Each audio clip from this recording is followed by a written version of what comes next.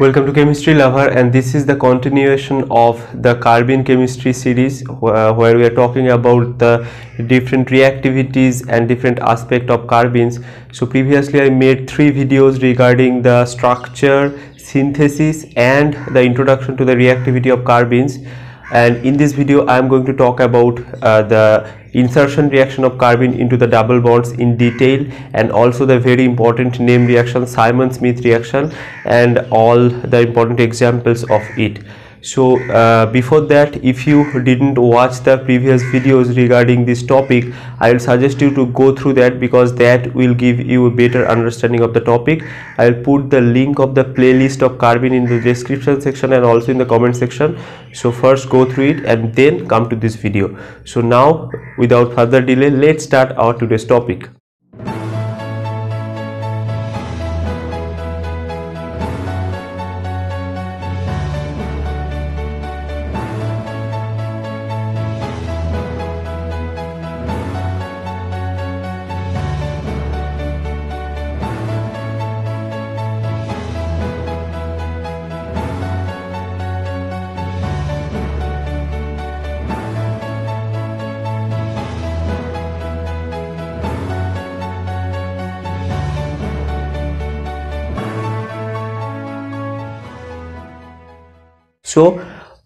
today we'll talk about the re reactions of carbene.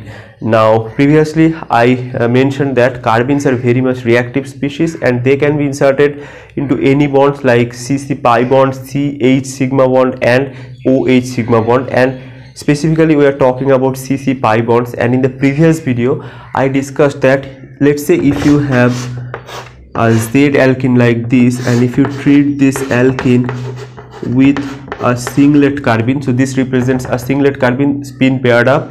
And then you will get a stereo specific reaction that is cis from cis. If you used a trans alkene instead you would get a trans product. But if you do the same reaction with a triplet carbene so this represents a triplet carbene spin uh, both spins are same. And then you would get a mixture of these two so here you can get one major one minor but you will get a mixture and we discussed why this is so because in case of singlet carbene uh, in case of singlet carbene you can think this reaction as a single step reaction like this. So this is a single step concerted process and that's why it is stereo specific but in case of this uh, triplet carbene you can more uh, this you can uh, you can consider this reaction more like a two step radical uh, addition process. For example you can consider this cr2 as a di-radical. So in the first step one of the radical side uh, adds to this. So that will produce this one cr2 one dot remains and here you generate another dot. And now they two combine to give you this product right? And now in this particular step you can see during this reaction this bond can rotate. And during this bond rotation you can either get cis product or get trans product. So this is a sim uh, this is a just quick recap of what we have discussed in the previous video. Now let us look into the broad picture of this. So uh, we can consider the uh, we, we can consider the addition of a triplet carbene as a radical uh, two-step radical addition process whereas for a singlet carbene the reaction is uh, 2 plus 2 actually it is not 2 plus 2 it is a 2 plus 0 uh, cycloaddition we can say.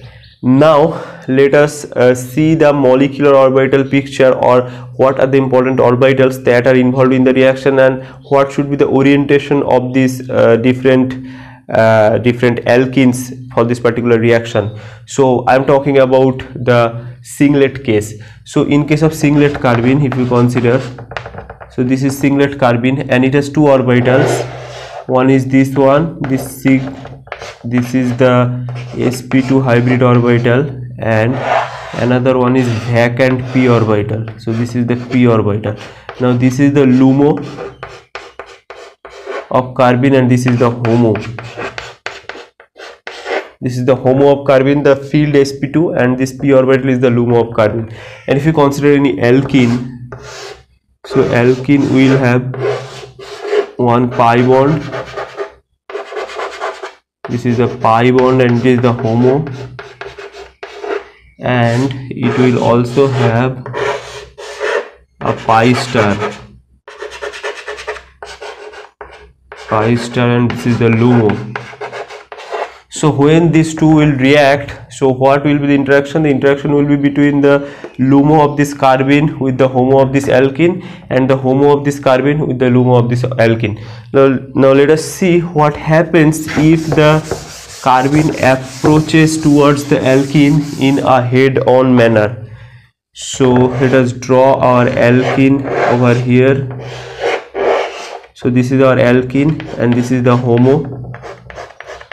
And now here if the carbene uh, comes like this so this will be the LUMO of the carbene. So this is the HOMO. This is the LUMO and now you can see this will have a symmetry like this one is shaded one is unshaded. Now you can see here you have a bonding interaction. But here you can see there is an anti-bonding interaction right? So although in one side it is bonding in another side it is anti-bonding. And now if you uh, if you look at the other mode of interaction that is between the LUMO LUMO of the alkene and the HOMO of this. So let's say this HOMO you can shade it either you can shade it or you can unshade it. So let, let us represent it in a shaded uh, shaded lobe. So you can see now here again this side is bonding.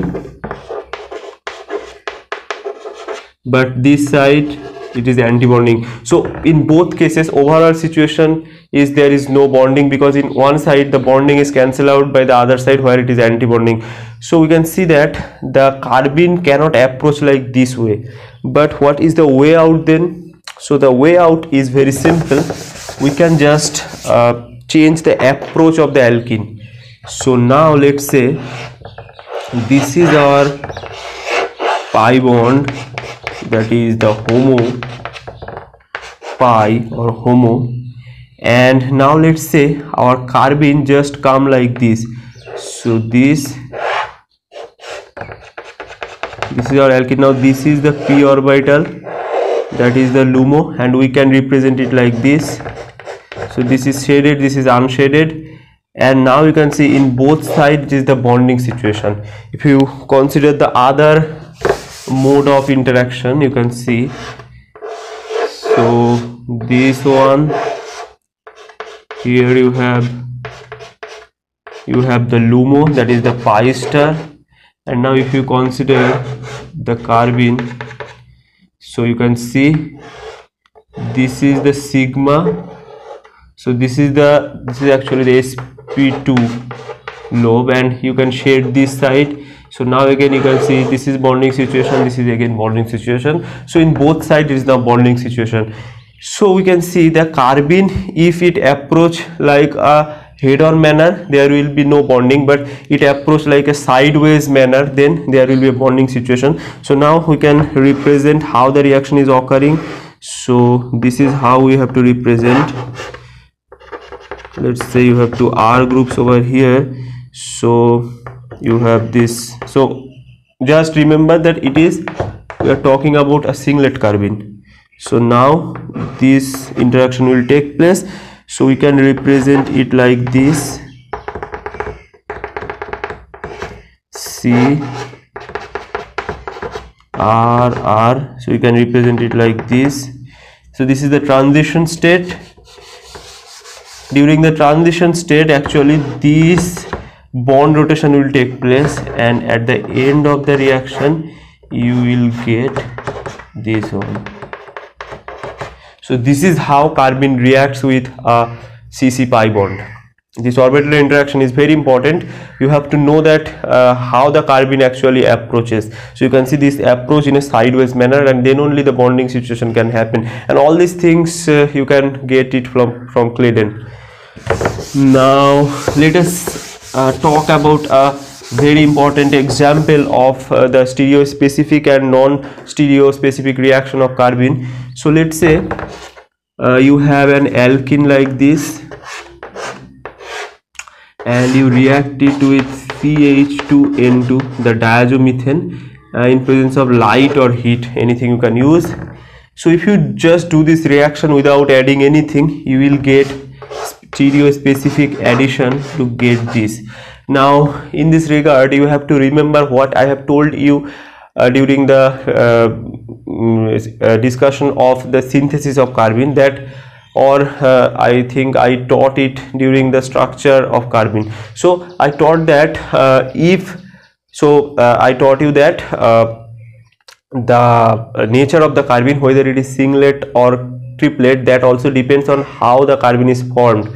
For example, if a carbene is formed in a reaction where the electrons are are uh, electron transfer or electron uh, the migration of electron is occurring in a in a concerted manner that is in one step two electrons are uh, moving so if uh, once at, a, at a particular step two electrons are moving at the same time then always the reaction which is formed initially that will be um, uh, that will be a singlet carbene. So in this case for example if you uh, recall the formation of this carbene particularly so this diazomethane we can represent like this and now you can see if you put light or heat what happens?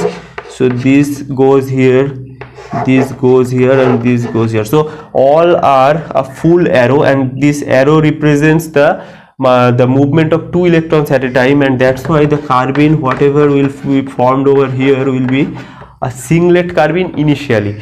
And in most of the cases the carbene which is formed initially is a singlet carbene. Now after the formation uh, you have to decide whether it will remain as a singlet or triplet. So if you allow time it can be converted into triplet state because triplet state is more stable due to the exchange energy.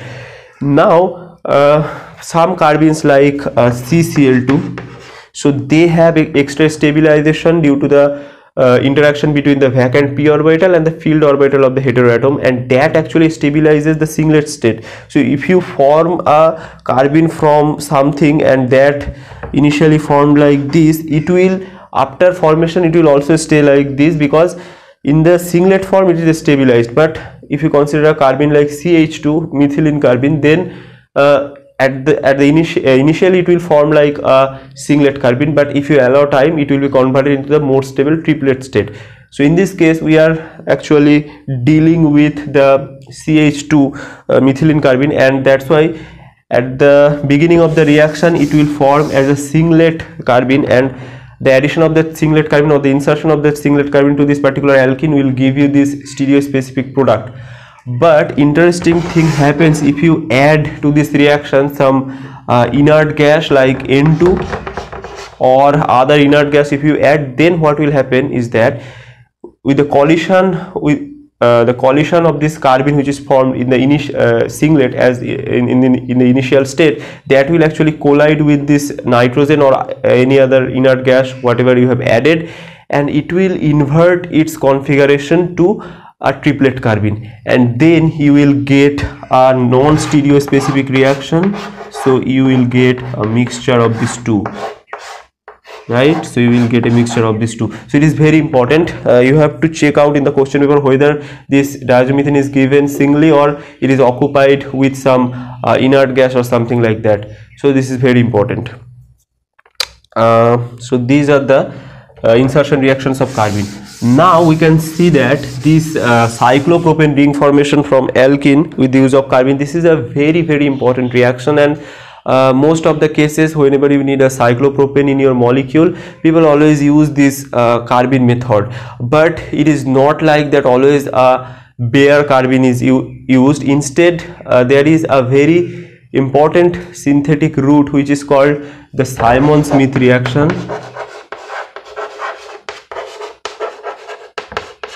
Simmons-Smith reaction which uses the carbene this is called zinc carbenoid so this compound is called zinc carbenoid and it is derived from this CH2I2 if you treat this with zinc so what you will get? You will get so this zinc is actually so here you have iodine. So zinc is actually inserted into this ci bond. So here you will have zinc here you have another iodine. Here you have one iodine. And it can also stay like this. So in both side you can have this uh, carbon equivalent. So this is the part which is the carbon equivalent and it is called zinc carbenoid. So you can have a you can see the resemblance. So if this goes here it can go and it will produce a carbon like this right? So it is a carbon equivalent it is called zinc carbenoid. And during the reaction actually never this uh, bare carbene is formed uh, at all but you can consider it as a carbon now let us see what is the reaction uh, which we get from this. So it is a very convenient method for the synthesis of cyclopropane. If you have any alkene like this and if you treat this let's say we use CH2I2 in presence of zinc copper couple so in zinc copper couple if you use the zinc metal it will uh, form this zinc carbenoid in situ and then you will get this uh, cyclopropane ring. Right? A very important example of this I can discuss is uh, let's say you have this uh, this thing. Sorry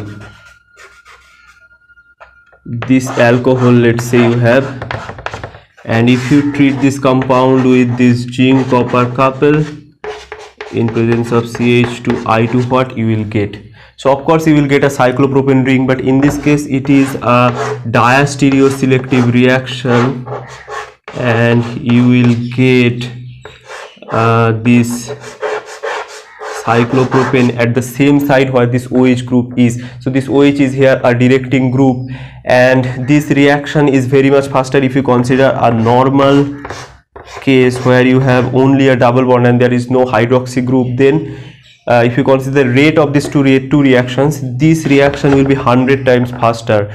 So this gives us some insight about the uh, react, uh, reaction mechanism of this particular reaction. So what is the reaction mechanism here? So the reaction mechanism is it is a concerted reaction. You can represent it like so let's say you have this alkene and you just represent this thing here.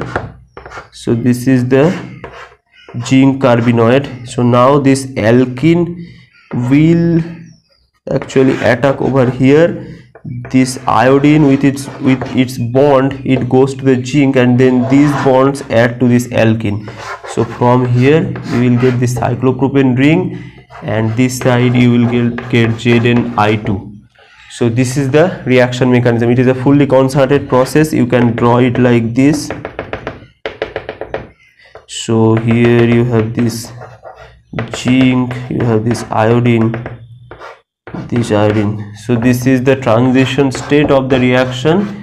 And uh, this is the mechanism which is followed by this particular reaction. Now the question is why the reaction is faster for this case and why we are specifically getting this cyclopropane ring at the same side with this OH group. So the explanation is very simple. If you draw this thing so you can see we can draw it like this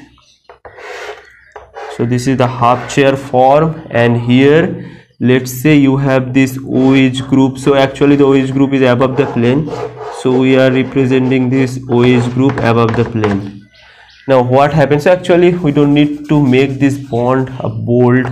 We just can write it like this right? So now when this zinc copper couple or this zinc carbenoid comes so it it places itself here and now you can see this is the carbenoid segment and this zinc it actually binds with this oxygen right?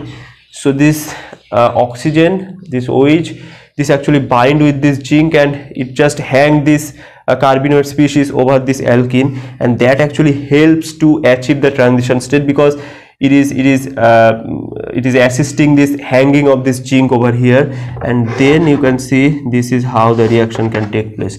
So th this this is the reason why this OH group facilitates the reaction and it also directs the reaction. So if uh, as there is a chance of this binding uh, this zinc carbenoid will not come from the below phase. So this is the reason. So let us see another good example of the Simmons Smith reaction. So this time it is like so here you have this ring. Uh, let's say this is actually above the plane and this is actually below the plane.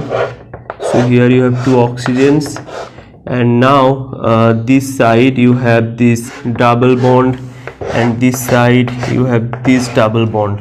And you want to have a Simmons-Smith reaction over here so you use CH2I2 now what we have just discussed again here you can see this oxygen is there and it can help this carbenoid to uh, hang on over this alkene and that's why you will get so from this reaction what you will get you will get from the, for this particular case you will get this cyclopropane below the plane and for here you will get it above the plane so because this oxygen is above the plane it will come from above side and because this oxygen is below the plane it will come from the downside and you will get this as your product.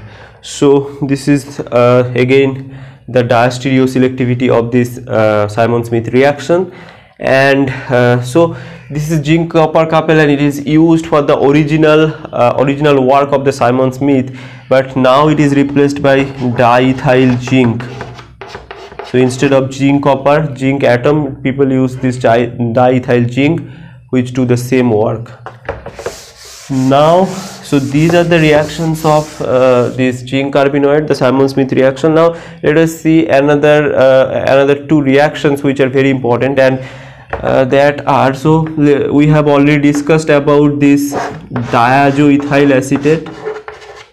So if you have this diazoethyl acetate we have seen that with the presence of this copper atom or copper iodide salt you can convert it to this alkene uh, to this carbene right? So you can convert it to this carbene.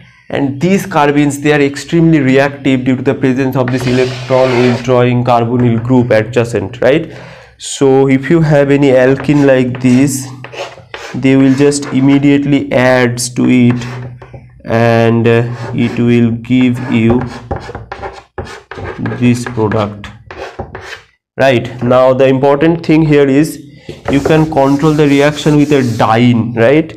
So let's say you have a diene and if you want to do a selective reaction with only one side then you have to use one equivalent of this reagent then you can get this uh, formation this cyclopropane ring formation in only one side. Now why this is possible? This is because if you consider the reactivity so actually the reaction happens between the HOMO of this diene and the LUMO of this di uh, LUMO of this carbene right?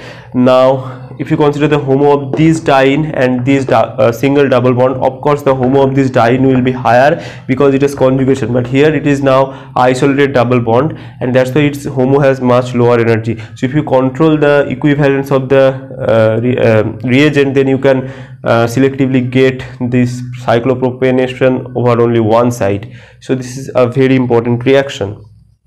Uh, another thing is this is so reactive. So you can see if you have a benzene ring which is having a very high aromatic stabilization energy.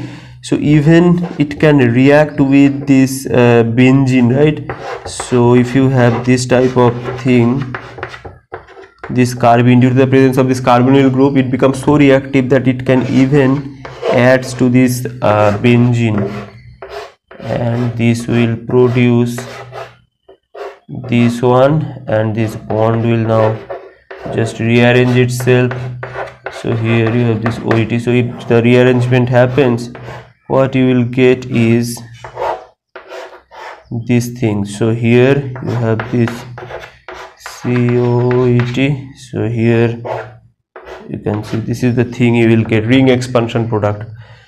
So these are the all important reactions of the carbene and uh, uh, their reaction with the double bond specifically CC pi bond.